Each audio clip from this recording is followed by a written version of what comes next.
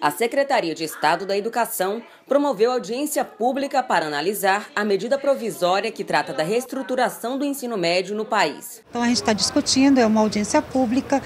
porque diz respeito a toda a sociedade maranhense, para a gente ver como é que nós vamos é, nos posicionar em relação a essa medida provisória que está aí, que a gente precisa dar respostas. A audiência contou com a presença de representantes de diversas instituições e da comunidade escolar. O evento é uma oportunidade de discussão e análise da medida provisória, de modo que as mudanças previstas no sistema educacional promovam qualidade e justiça social. E ao recebermos essa medida provisória, nós nos posicionamos no sentido de que fossem ouvidas, fosse ouvida a sociedade, fossem ouvidos os gestores, fossem ouvidos os professores, fossem ouvidos os alunos, para que nós pudéssemos nos posicionar, tanto Secretaria de Educação como Conselho Estadual de Educação, considerando inclusive que o ensino médio é, um ensino, é uma etapa do, de educação muito importante.